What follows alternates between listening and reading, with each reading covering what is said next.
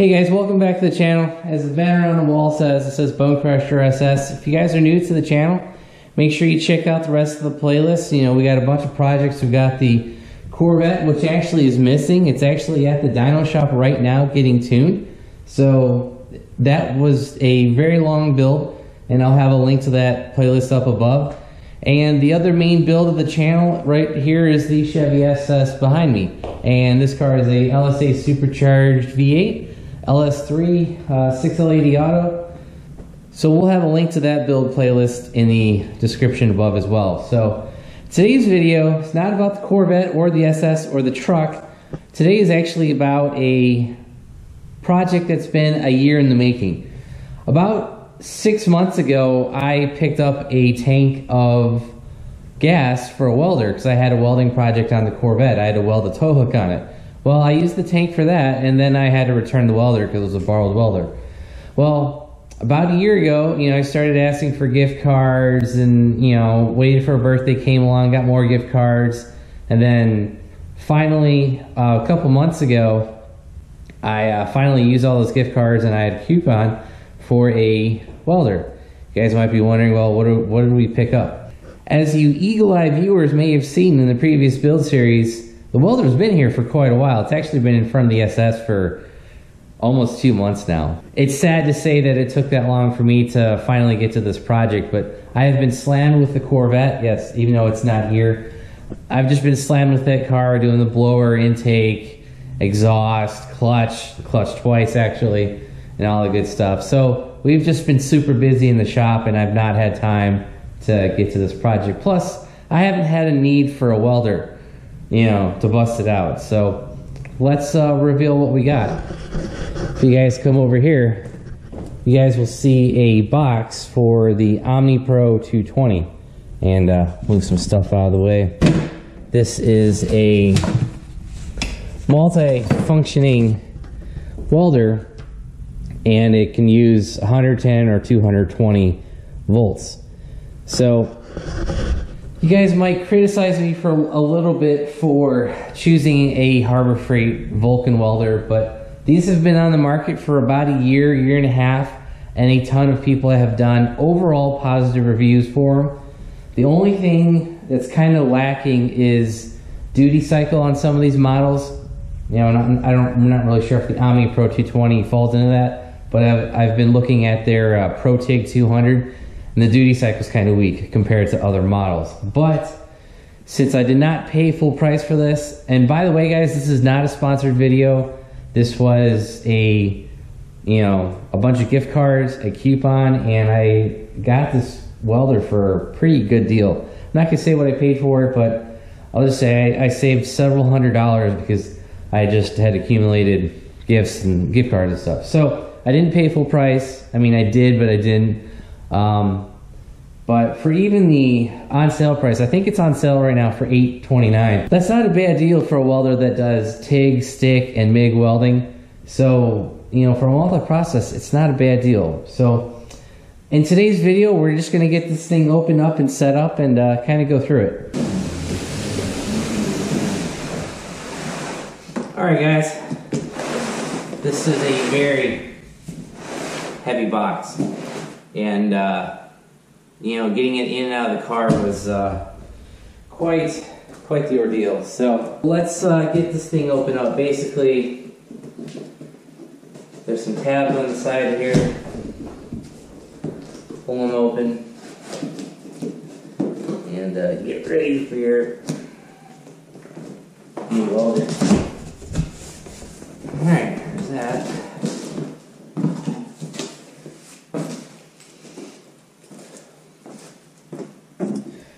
Here's your congratulations book and basically how to set it up. And guys, somewhere in here, there is a coupon for 25% off another item. So as you guys can see, there is a 20% coupon for any Vulcan branded accessories. Well, that's cool, but honestly guys, I've already got most of these accessories. We'll, uh, we'll go through those later in the video.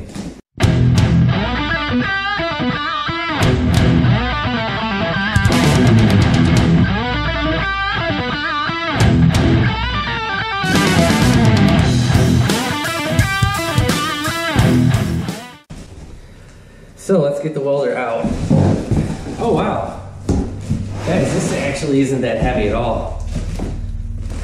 Most of the weight, you're gonna laugh, is this third box. It's larger, but I couldn't get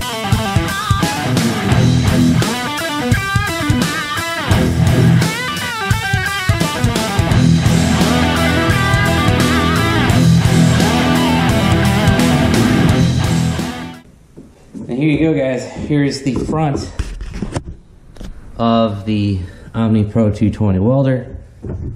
Gonna have your door accessory. There's a nice little uh, switch here to open it up, and inside you've got all of your MIG and TIG settings. You've got your spool Alright guys, inside of this box is the regulator. This will be your air and CO2 regulator.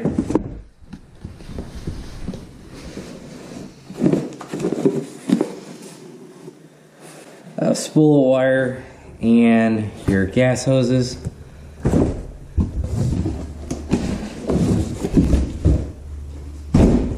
And this box is going to be the MIG gun, power cord, etc. guys, we have connected the gun, the MIG gun, to the welder. What they don't tell you in instructions is, they, they do mention that this connector, the gun goes through the slot in the case. What they don't tell you in instructions is, this thumb screw has to come all the way out. I was trying, I, I loosened it, it went in, I loosened it a little bit more, it went in. But you actually have to take this thumb screw all the way out for the gun to slide all the way in properly, and the instructions aren't quite clear about that. And then the MIG gas connection, the gas connection for the gun right here, that only goes in one way. Make sure you push it in all the way and then start threading it to the right. Welder actually came with two sets of wire. One is this two pounds of flux core welding, so that's gasless welding. And as you guys can see, I installed the two pound of uh, the solid welding wire. So this requires the gas, the argon uh, CO2 mixed gas. So that is basic your basic setup for MIG welding. For TIG welding, really the only thing you're gonna have to do is add the foot pedal. So that plugs in through the case here. I don't know if you would want to feed it through where the MIG gun plugs in or you would just kind of leave the case door open like that. You know, I don't know, but that's kind of up to you. Actually, guys, I see what they did. They actually put the wire through the label. We'll fix that later. So you're going to want to take your wire, feed it through here,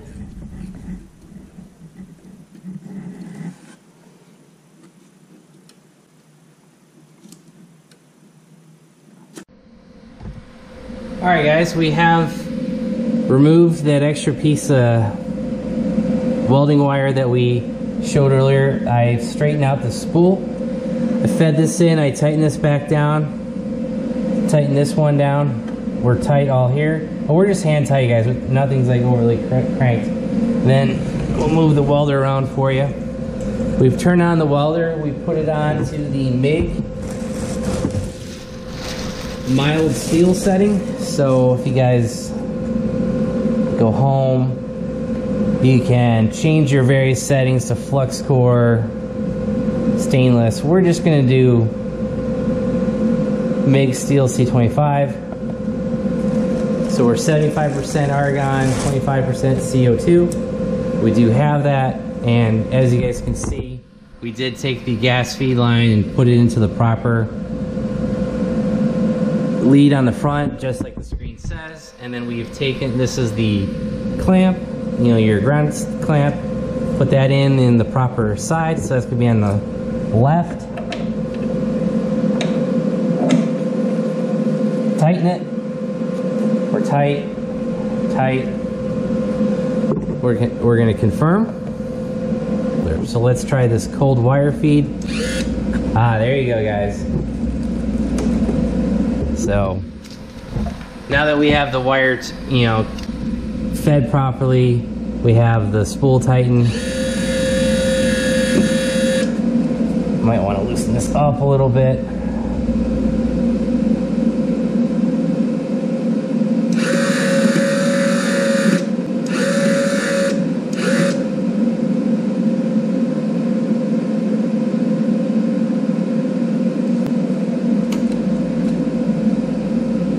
keep feeding it.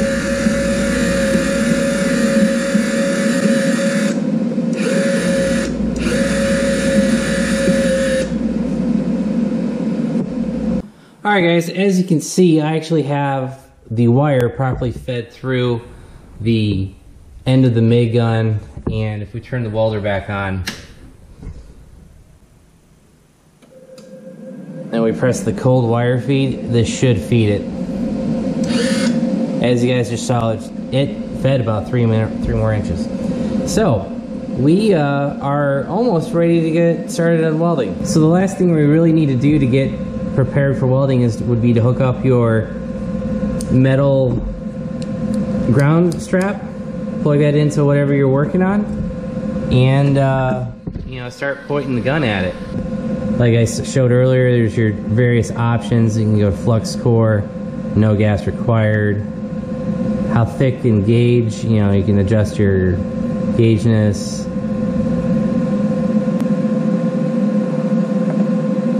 You're ready to start welding, go back to home. Go to the spool gun, you got 40-30 aluminum, 53-56 aluminum, stick welding, and the TIG. The TIG obviously requires a TIG torch and 100% argon gas. We do not have that. I do have the TIG torch, but we'll do TIG welding in another video. And uh, that's pretty much it. So back, go back to our MIG welder. We're good. Hit confirm. You know, change your thickness, various thicknesses you can weld, and go from there. And then here you should be able to adjust the wire speed and this will be your volts. You know, how, how much power you're to feed through it. So that's basically it. You know, we're obviously to go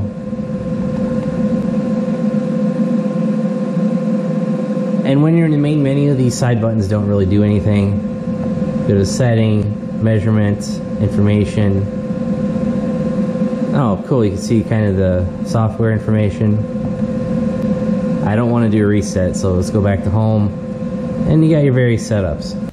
And there you go, guys. That's your basic unboxing of the Vulcan Omni Pro 220 welder. And I literally have just unboxed this for the first time. And I haven't began to explore all the options. And I mean, trust me, we got plenty of options. We've got the TIG torch. We've got the foot pedal. I actually even picked up the spool gun because it was like half price on it on eBay. So picked one of those up, and uh, so we can do basically stainless steel TIG welding, mild steel TIG welding, aluminum spool gun welding, and uh, you know your basic MIG gun features and stick welding as well. I forgot about that. So yeah, a lot of features out of this. The only thing it doesn't do is aluminum. I've kind of been looking at the TIG, the the TIG Pro 200 or the 200 TIG Pro, whatever the name of that thing is called. But honestly, guys, I think what we're going to do is learn basically how to weld, practice weld on various uh, surfaces and stuff on this welder first before we get into the aluminum welder. I kind of, you know, I actually have a project lined up that I'm going to need to get a aluminum welder, you know, a, AC/DC TIG welder but right now, that's kind of on the back burner. We got other stuff to get done first. But like I said, this is pretty much the unboxing and MIG setup. We will do a TIG welding, you know, stainless. I've got some stainless actually left over from an exhaust project. We'll do that in a future video, but before that, I need to get all of this stuff cleaned up, guys. You can see it just, this garage was cleaned before we started this. Now there's just stuff everywhere. So we got to get this stuff all cleaned up. I actually do have a welding cart to put that on. So we're gonna do that in a separate video, welding cart, and uh, you know, in that video, I'll actually hook up the uh, argon bottle that we've got back there over next to the hood. So a lot of stuff to do, and uh, be on the lookout for future welding videos. Now, guys, I've admitted this in the past. I am not a certified welder at all. I've only MIG welded 10 to 15 times in my life, and the last time I MIG welded anything was the Corvette project that was on a borrowed welder. And I keep coming to that same kind of conclusion where it's like, I need a welder, I need a welder. I finally bought one with, you know, the help of friends and family with uh, the gift cards and stuff. So we, we picked this up so this is kind of be going to be a ongoing learning, you know, welding journey, as you guys can say. You know, now that we have our own welder, I can weld anything at any time. That's really cool. And uh, like I said, you guys are just going to have to come along and follow uh, with what we learn and what we screw up. And I'll be first to admit, you know, when I screw up, I'll show you guys. You know, we'll show you like, oh, we should have done this, should have done that. The other thing is, guys, about that uh, TIG welder, I've TIG welded once, and that was at the Rebel uh, ESAB Rebel display at SEMA a couple years ago. I TIG welded for about 10 seconds, and that was about it. And that was on mild steel. So TIG welding aluminum is a whole new game, and uh, obviously can't do it with this machine, but that is a goal for further down the line. So we'll uh, we'll just have to go, you know, with the flow, as they say. So be on the lookout for further welding videos. I don't. This will not become a welding channel. It's just kind of gonna be a nice to have. And if we ever got to do anything, we've got the tools to do it. So the welding videos will be in between. You know, we'll see it every now and then. Anyway, if you guys enjoyed the video, give it a big thumbs up. If you haven't already subscribed, please do. If you want to know when I upload new content, hit that bell notification button down below. And as always, if you want to help support the channel, click the links down below. Thanks, guys. Have a great one.